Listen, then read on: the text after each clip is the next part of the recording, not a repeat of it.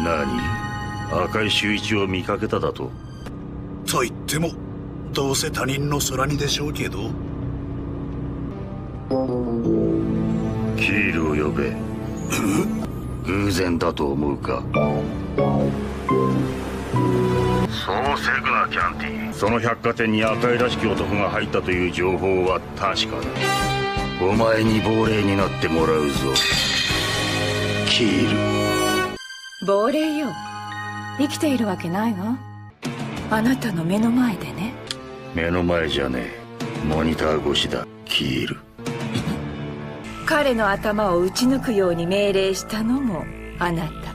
そしてあなたは彼が頭から血を流して倒れた一部始終を妙な勘繰りはやめて天敵が消えたことを素直に喜んだの。ねえ彼はこのこと知ってるの？誰のことだ？バーボンよ。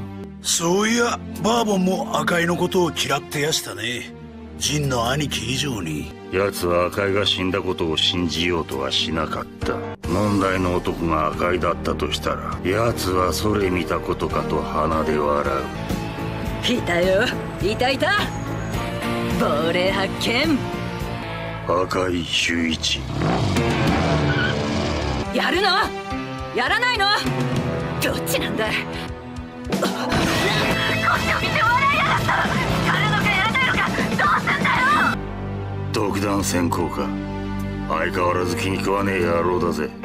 え？シャーロック・ホームズのような探偵はな